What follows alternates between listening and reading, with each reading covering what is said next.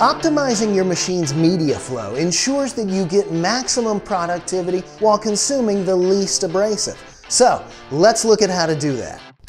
Now, this setting is going to change based on your abrasive and pressure, so you need to load up your machine and adjust the pressure to where you want it to be. If you don't know how to do those things yet, search our support to find out.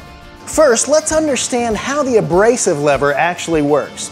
Basically, it controls the rate of media pickup by raising or lowering the outlet pipe.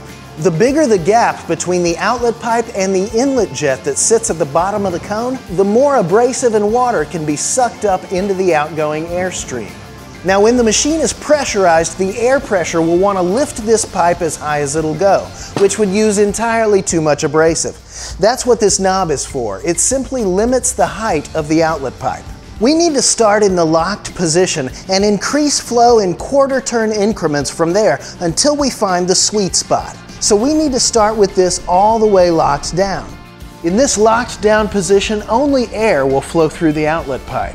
I put tape on my knob to make it easier to tell where a quarter turn is and marked the zero point of my outlet pipe so it's easy to see it raising. You'll notice each half turn allows the outlet pipe to rise by about an eighth of an inch, which allows more media and water to get sucked into the outgoing airstream.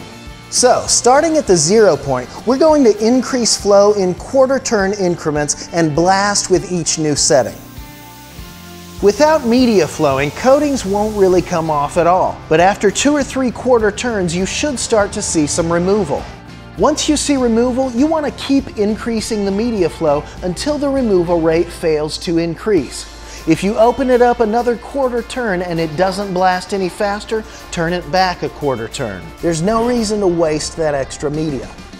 Your time is valuable and abrasive is pretty cheap, so you don't want to be too stingy with it. But after a certain point, extra media flow is no longer beneficial. Finding that point is the key to optimizing your flow.